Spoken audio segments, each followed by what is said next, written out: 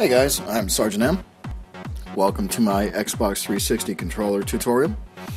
Uh, for this tutorial, I'll just be painting my uh, standard practice uh, Xbox controller, just one I keep on hand just to play around with.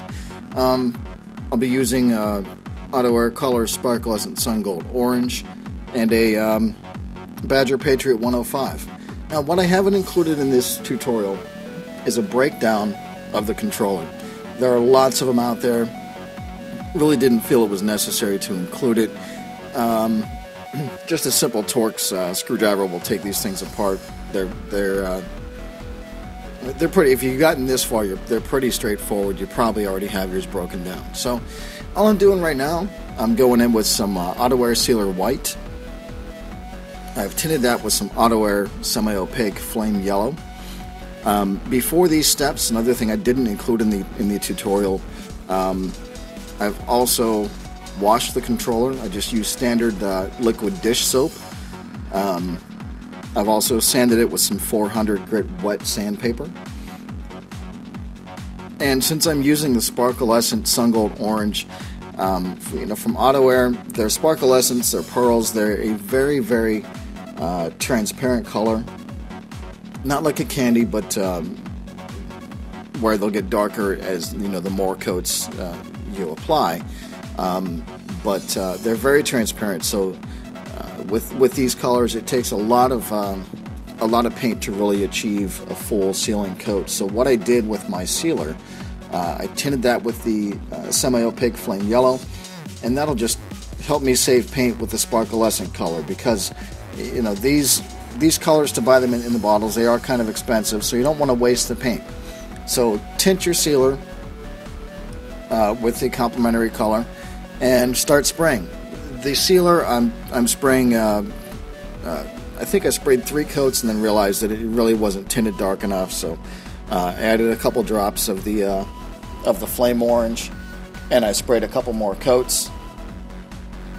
And um, then I went in with, uh, with the color. So I know this, this part's kind of boring, but um, really, you know, preparation is 90% of any custom paint job. If it's not prepared right, um, it's not going to look right in the end. So take your time, get your sealers right, get your get your sanding right, make sure everything is is uh, is prepared right, and you won't have failures later on. Now, another thing I could have done before uh, I sprayed the sealer, and unfortunately I don't have any on hand. I could have sprayed some adhesion promoter, like some Bulldog adhesion promoter. Uh, I know a bunch of different companies uh, make uh, make uh, adhesion promoters. Sherwin Williams has one. House of Colors has some. House of Color, not Colors. Uh, House of Color has their own. Um, but uh, Bulldog, maybe one or two light coats would would be sufficient. So, um, you know that that's just another added insurance step to make sure that these layers of paint don't don't uh, don't lift up on you later on. But if it's sanded properly, and it's sanded with the proper grit, no higher than 600 for these uh, for AutoAir. Um, you you really shouldn't run into any adhesion problems whatsoever.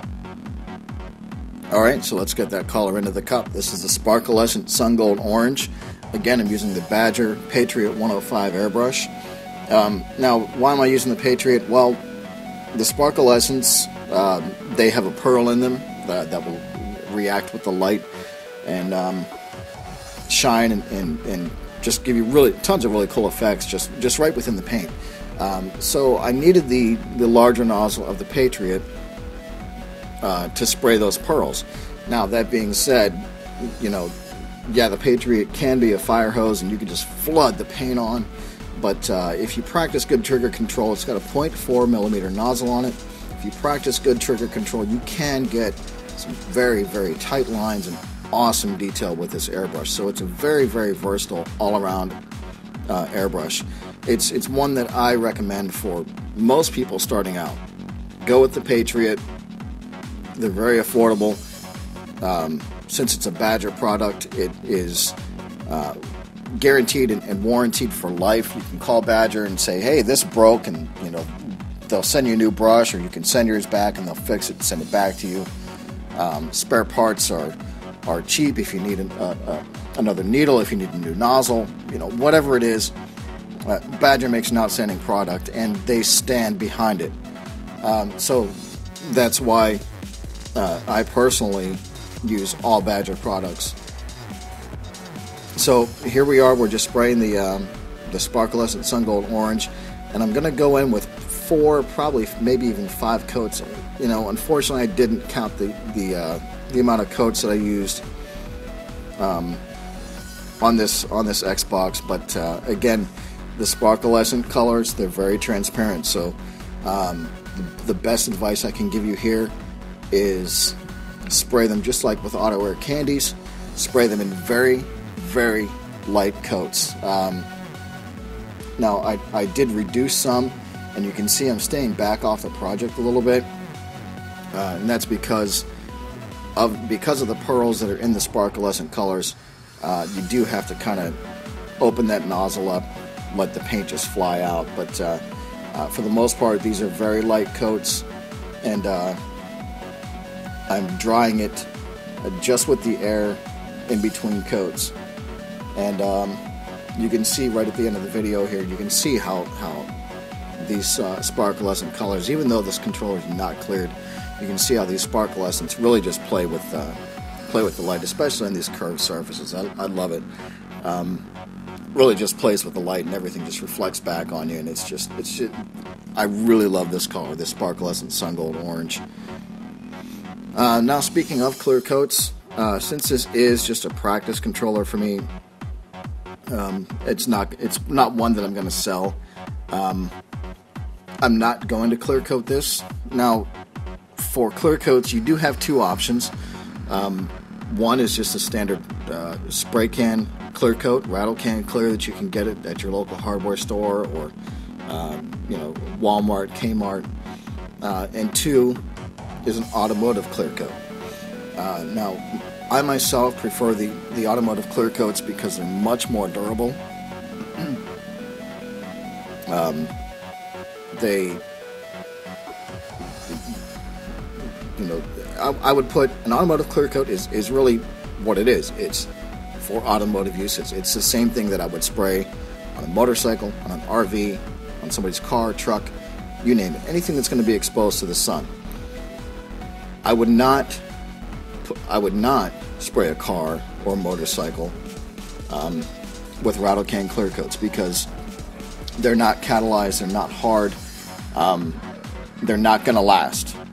Um, your paint, uh, chances are the, the, clear coat itself will actually start to fade, start to yellow over time if it's left in the sun. Um, there's no really no UV protection, so your um, so the paint underneath can fade, yellow, dull. Um, but for things like Xboxes, Xbox controllers, uh, if all you have is is a is a standard rattle can clear coat, feel free to use it. Um, I would recommend putting on six or even seven coats of clear just to get it really thick, really build it up.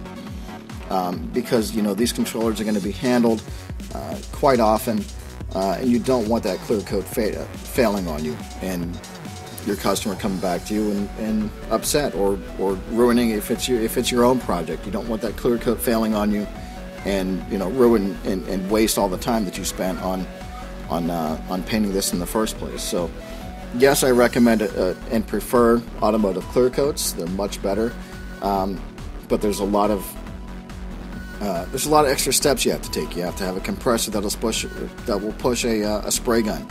Uh, you have to have, and uh, depending on where you are, if you you know there are state regulations, you got to be careful of those. You ha- you have to have access to a booth, uh, a standard spray booth for extraction. They're very toxic, so there's a lot of safety precautions that you have to take when, when spraying those things. Um, whereas with the rattle can clear coat, take it outside, spray it down, let it dry, and you're good to go. There's really, yes, I do still recommend wearing a mask uh, with, with, with rattle can clear coats, but uh, it's not something that will uh, will kill you as quickly as a, as an automotive urethane clear coat if if you're if you're uh, not careful. Uh, those things, automotive clear coats are very nasty. Um, if you if you're not careful, and uh, you can get yourself in a lot of trouble. So, if you're looking to go that route, spend some time, do the research um, on what safety precautions you uh, you have to take. Uh, isocyanates are a very very bad thing if uh, if you're not careful, and, and it can mess you up. So uh, really, that's about it, guys, uh, for the tutorial. Uh, if this is your first time watching, thanks a lot. Check it. Thanks a lot for checking it out. Feel free to click that like button. Helps me out. I do appreciate it. Hit that subscribe button. Uh, put tutorials on here as often as I can. I know it's been uh, I know it's been a few weeks, but uh, I apologize for that. You know, life gets in the way sometimes. So uh, that's it for now, guys. I am Sergeant M. www.airbrushingtips.net as well as the airbrushforum.com. Thanks for checking it out, and I will see you guys next time.